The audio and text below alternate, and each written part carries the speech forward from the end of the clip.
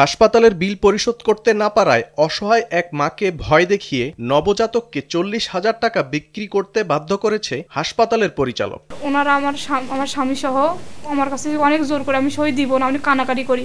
পরে কাউকে জানাইতে দেয় না, আমি ওখানে কান্দি, পরে আমাকে অনেক ঝাড়া, ঝাড়াঝাড়ি মানে ওরা মারে। এখানে তোর মায়া কান্দা তো কেরাসিন তো টাকা দে। পরে ওরা আমার কাছ থেকে বাচ্চাটা নিয়ে অন্যজনকার কাছে আমার স্বামী সহ দিয়ে দিচ্ছে গত তেরোই জানুয়ারি রংপুরের হলি ক্রিসেন্ট হাসপাতালে সিজারের মাধ্যমে শিশু সন্তান জন্ম দেন লাবণী আক্তার।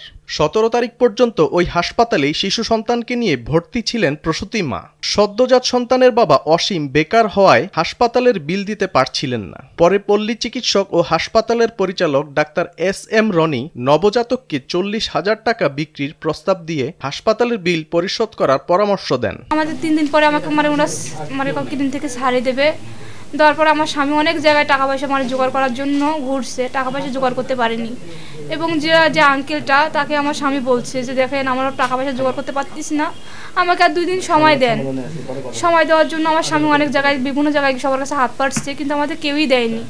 পরে আমার স্বামীকে বলি, পরে আমার আমার এই বাচ্চাটা বিক্রি করার জন্য আঙ্কেলটা আমাদের প্রস্তাব দিছে আমাকে যে আপনার বাচ্চাটা বিক্রি করে দাও টাকার জন্য। মানে ওদের টাকা আমরা দিতে পারছি না। দিতে পারছি না, পরে আঙ্কেলটাও আমার কাছে বাচ্চাটা চাইছে। আমি অনেক কান্নাকাটি করি, পরে আমাকে মায়া কান্না দেখে এখানে লাভ নেই। পরে আমি তাকে বুঝেছি, যেখানে আঙ্কেল আপনার আমি ভাস্তির মতো। হয়তো আপনার রক্তের সাথে আমার কোনো কালেকশন নেই, কিন্তু ছোটো থেকে তারা আমার পালছে, চিনে পড়িছে। আপনার সময় দেন আমরা দরকার পড়লে আপনি আমার স্বামীর কিডনি নেন। এবং আমার স্বামী ওনার কাছে কিডনি বিক্রি করার জন্য গেছিল অনেকবার। পর আমার স্বামীকে কাছে কিডনির কি কোনো ইয়া গুড়িয়া হয়? মানে অনেক অপমান করছে আমার স্বামীকে। করার পর আমার স্বামী অন্য ক্লিনিকে গেছে কিডনি বিক্রি করার জন্য। সেখানে বিক্রি করতে পারেন না পরে আমি বলছি যে, আপনি আমার রক্ত নেন হলে আপনি আমার দুটো চোখ নেন। মানে অনেক ওনার হাত পা ধরে কান্নাকাটি করছি। কিন্তু উনি আমাদের কোনো কান্নাকাটি, কোনো কিছুই শোনেননি। অনেকটা জোর করে নবজাতককে রুবেল হোসেন রতন ও তার স্ত্রী জেরিনা আক্তার বিথির কাছে চল্লিশ হাজার টাকা বিক্রি করে দেন ডাক্তার রনি। পরে সন্তান হারামা ছুটে যান পুলিশের কাছে। পুলিশ অভিযান চালিয়ে শিশু সন্তানকে উদ্ধার করে মায়ের কোলে তুলে দেন।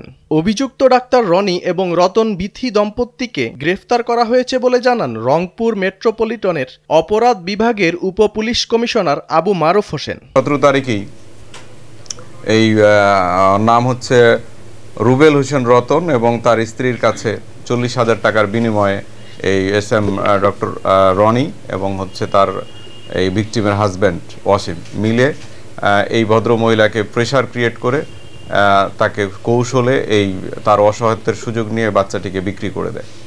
এবং তারপর থেকে এই ভদ্রমহিলা বিভিন্ন জায়গায় ঘোরাঘুরি করে এবং আমাদের কাছে গত রাত্রে আসার পরেই আমরা তাৎক্ষণিকভাবে অভিযোগটি আমলে নিয়ে এই বাচ্চাটি উদ্ধার করি। আমরা রাত তিনটার দিকে এসি কোতোয়ালি আরিফ এবং হচ্ছে তার টিম মিলে এই বাচ্চাটিকে উদ্ধার করে এবং আমরা আজকে সকালে সকল আইনানুগ প্রক্রিয়া শেষ করে আমরা এখন এটি বিজ্ঞ আদালতে আমরা সেন্ড আপ করব এবং এই আমাদের কাছে ডাক্তার রনি এবং হচ্ছে রুবেল এবং হচ্ছে তার স্ত্রী বিথি।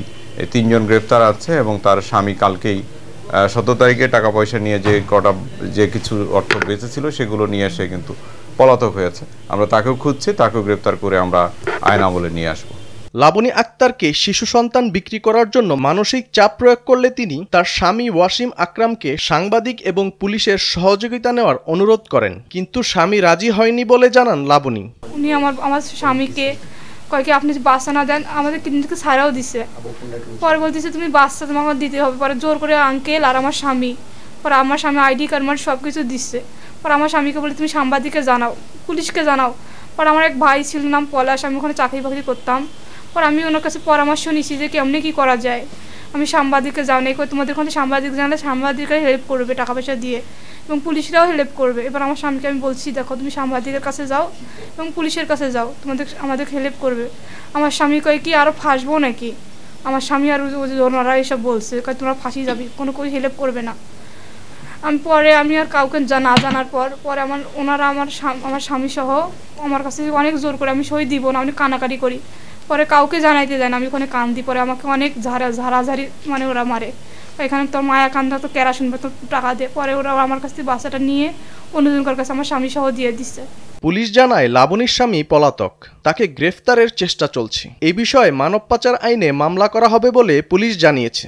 এটি আমরা ভিকটিমকে আদালতে উপস্থাপন করব এবং ভিকটিমের আদালতের নির্দেশনা মোতাবেক ভিকটিম এবং বাচ্চার ব্যবস্থা হবে যেভাবে নির্দেশনা প্রদান করেন।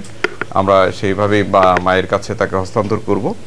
আর এটি মানব পাচার আইনের মামলা হয়। মানব পাচার আইনের দশের দুই ধারা সহ অন্যান্য ধারা আছে, ছয়ের দুই আছে, সাত, আট, নয় আছে। যেই যেটি যেভাবে হয় আর কি, যদি বা এখানে অ্যাবেটর থাকে বা প্রচারণাকারী থাকে, ষড়যন্ত্রকারী থাকে, তাহলে এক একটা সেকশন যুক্ত হয়। মূলত এটি মানব পাচার আইনে মামলা হয়।